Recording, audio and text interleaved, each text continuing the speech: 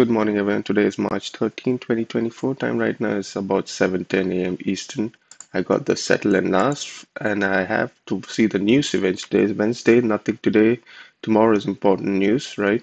So today might be, uh, I don't know what a day day might bring. It might be uneventful. It might just be a balanced day. Could open up on a gap. There's still a lot of time. I have somewhere to be, so I'm making this video really early. Um, settle is right here. I see the overnight inventory as a balance as of right now. Pretty much will be balanced, considered balance.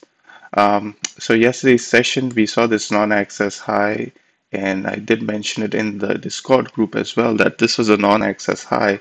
The market went uh, too long. It was too long, and so I actually did take a trade at 52.37, and uh, that was the trade that came to me yesterday. Um, but it was against the value and against uh, the short-term trend. Not an easy trade, a risky trade, difficult trade to take. Uh, so that was yesterday. And uh, if you look at that profile, it's an elongated P. I'm not going to look too hard, but pretty much there were some laggers here that got stopped out. Excuse me. And so uh, that's what happened yesterday. Now, moving forward, this week is a bit, I, I won't be trading much anyways. Today I won't be trading. So overnight inventory has a very prominent POC. That's another observation to make.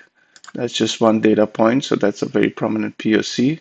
As you can see, this is like a perfect example of a prominent POC. So make a note of that.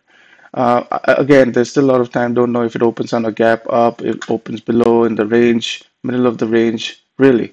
So anything can happen. But we have important news tomorrow. Today, you know, I don't think there'll be much of an action. Of course, I can, I may be wrong, but uh, do keep an eye on where the markets open. Okay, right, guys, take care and have a great trading day. Aloha.